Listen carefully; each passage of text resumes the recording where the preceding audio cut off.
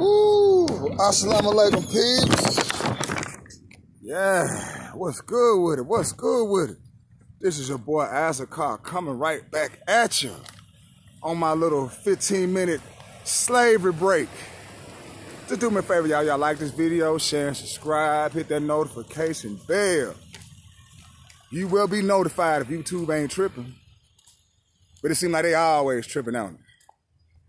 Good gracious, Scott, it is warm out here. It's warm as hell. Goodness. Yeah, I, I came through a couple little articles, man. I got to keep y'all in tune of what's going on.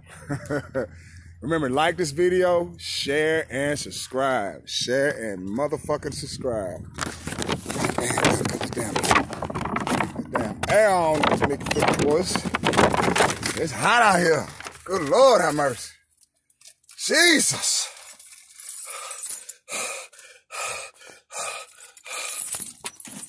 How y'all doing, man, on this day after the hump day?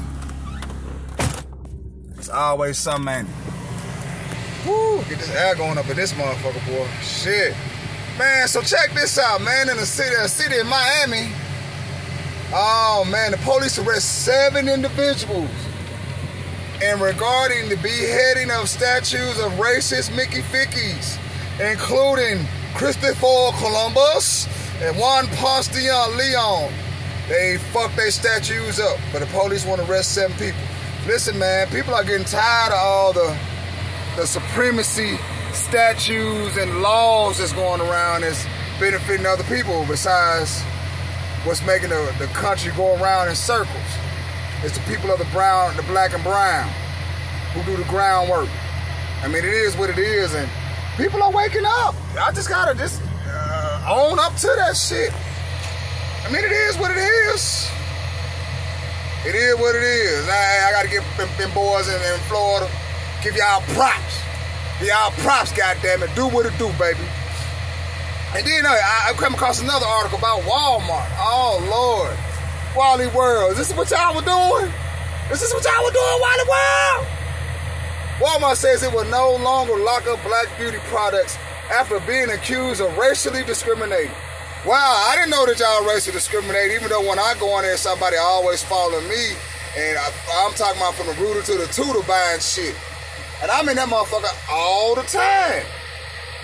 All the time. I told, I think I did a video one time when I was trying to take back a TV that didn't work and I was not gonna. They didn't want to give my money. They want to put my shit on the card, which is bullshit.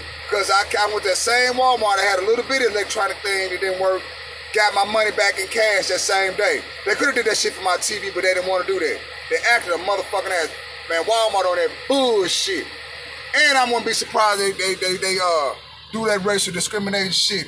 Hell, I, I see it. So I'm not surprised. Not surprised. It's just sickening though, you know that we built this motherfucker country and get treated like rejects.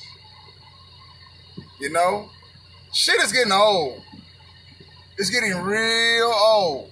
Make sure y'all like this video, y'all, man. I'm bringing y'all them bangers on my 15 minute break, man. You gotta do nothing but respect it. Just respect the work. Respect the work. Force time distance. Respect the work.